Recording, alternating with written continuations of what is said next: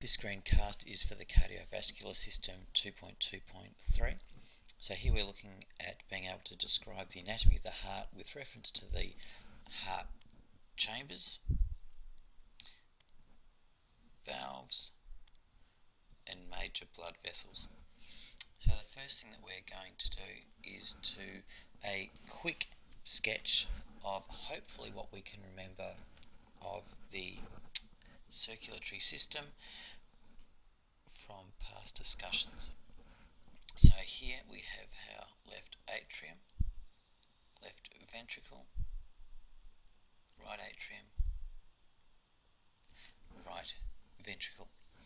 So the left side of the heart appears much larger than the right hand side.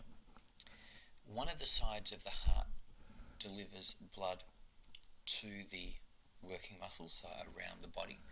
The other side of the heart delivers blood to the lungs.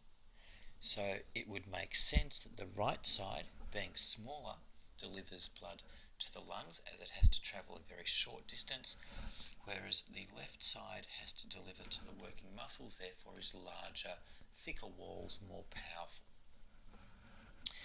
So our left ventricle delivers blood to the working muscles. So here we'll write body. So we get oxygenated blood going in that direction. As the body uses the blood becomes deoxygenated, comes in the right atrium, so the blood travels in that direction from the right atrium to the right ventricle, out of the right ventricle to our lungs.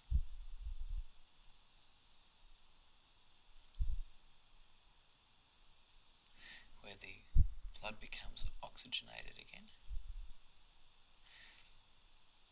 and enters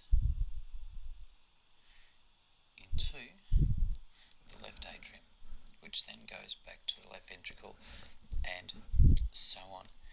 The aorta is the main artery leading out of the left ventricle that takes blood towards the body. The pulmonary vein takes blood from the lungs to the left atrium. Where we see the term pulmonary, think of lungs.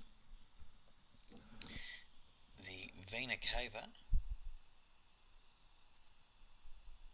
is the main vein that brings blood back to the right atrium from the body, and the pulmonary artery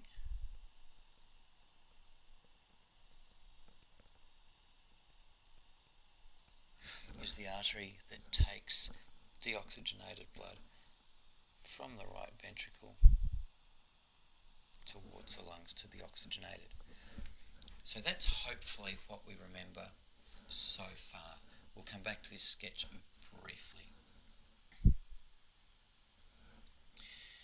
So if we come down to this diagram of the heart, which has more information than what we need, we will see here that our right atrium, ventricle, our left atrium, our left ventricle, as we would have drawn. We have our aorta, which takes blood from the right ventricle, sorry, left ventricle. We have our pulmonary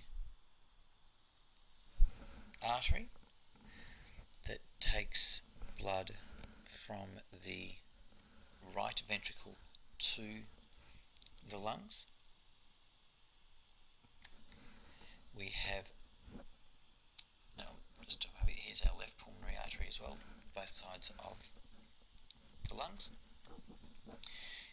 We have our pulmonary veins that bring blood back into the left atrium from the lungs.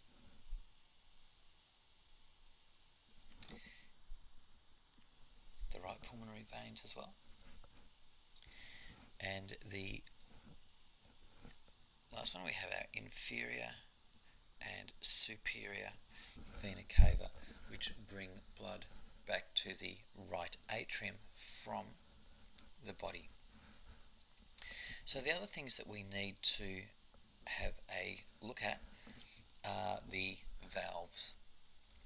We have a couple of, or three, four valves that we need to look at. The first is the valve between our left atrium. I'll just label this so we've got left atrium, left ventricle, right atrium, and our ventricle. Here we have what's referred to as the bicuspid valve. It has two parts to it. So it's between our left atrium and left ventricle.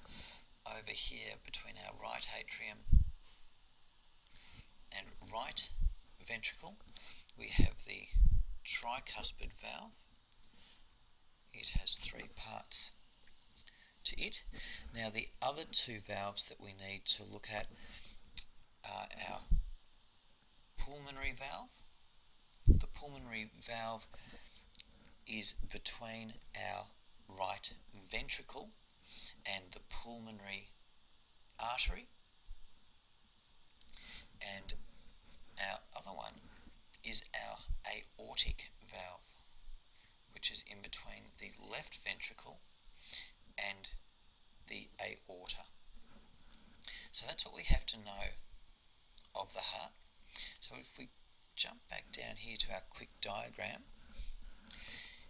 here we would have the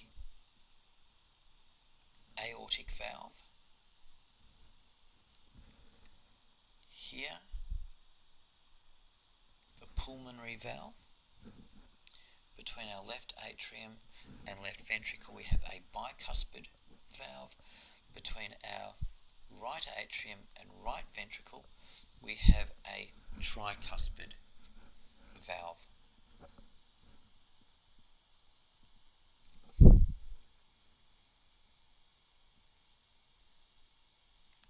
Again, a diagram that's not named, so we'll go through that one.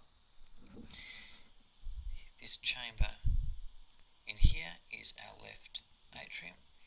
This chamber down in here is our, I'll just put a line to it, is our left ventricle.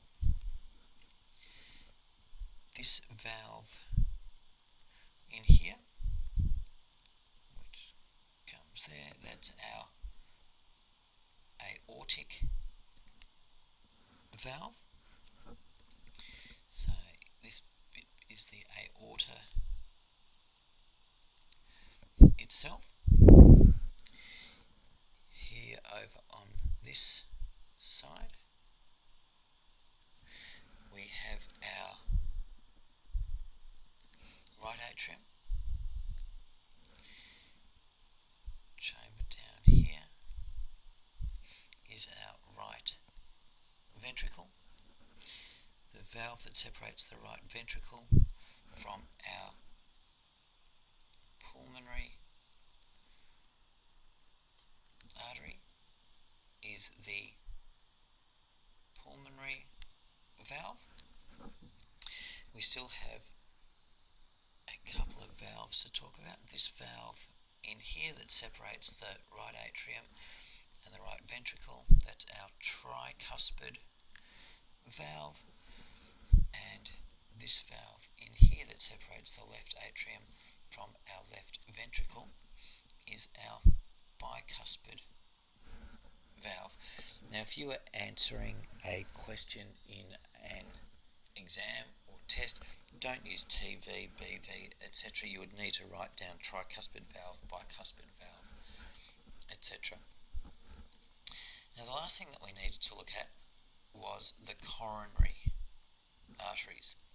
The coronary arteries are the arteries that feed oxygenated blood to the heart itself. Now, these stem from the aorta. It makes sense that they stem from the aorta and not from the pulmonary artery because they want oxygenated blood. So the aorta carries oxygenated blood to the body, but you can see these early branches from the aorta actually deliver the heart itself blood.